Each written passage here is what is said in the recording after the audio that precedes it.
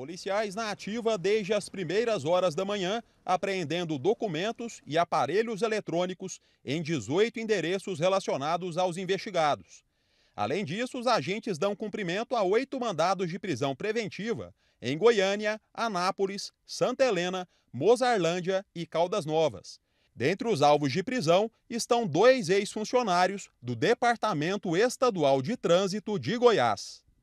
A Operação Chave Falsa apura a existência de um esquema criminoso para transferências fraudulentas de veículos.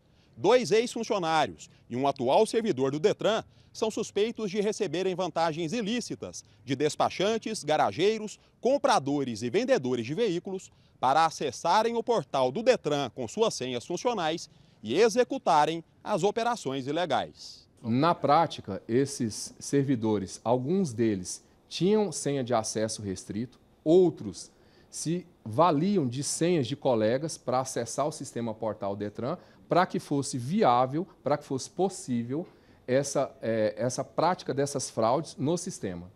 Segundo o delegado responsável pelo caso, pelo menos 18 pessoas integram a associação criminosa. O Detran teria sido lesado no decorrer dos anos de 2021 e 2022. O prejuízo total ainda não foi calculado.